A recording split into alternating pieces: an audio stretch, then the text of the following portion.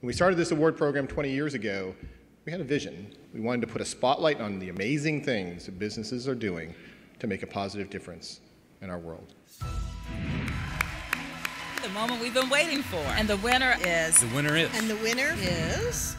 It's a prestigious event which is an honour to, to attend. You have lots of prestigious organisations, some really high profile speakers. The Citizens Award represents the pinnacle of success when it comes to creating meaningful programs. Thank all of you here uh, in this Chambers Foundation uh, for the joy of receiving a special recognition for world changing ideas. The purpose of our awards is really to kind of push corporate best practices. A huge thank you to every single person in this room for all that you do and your companies and organizations do.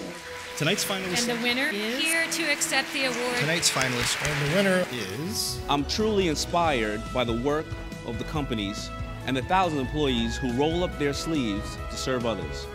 We encourage all companies to demonstrate the great work that you're doing in social responsibility because the private sector is critical to a better world. Wherever I have seen a vibrant community, I've seen vibrant businesses. You cannot have a vibrant community if you do not have great businesses. The number of different companies that apply for these awards, big Fortune 50 companies that are doing massive, meaningful things in the world, is inspiring and impressive. Such a phenomenal evening. Thank you. Thank you. Thank you so much. It is an honor. We're so pleased um, to be introducing this new honor tonight.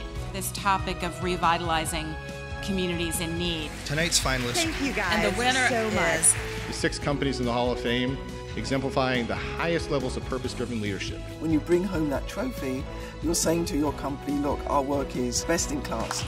And the winner is. Wow, you like Thank you so much. Tonight's finalist. The winner Thank is. you, everyone. Thank you guys so much. The winner. Thank you. Thank It is you. a high honor. Thank you. Thank you so much.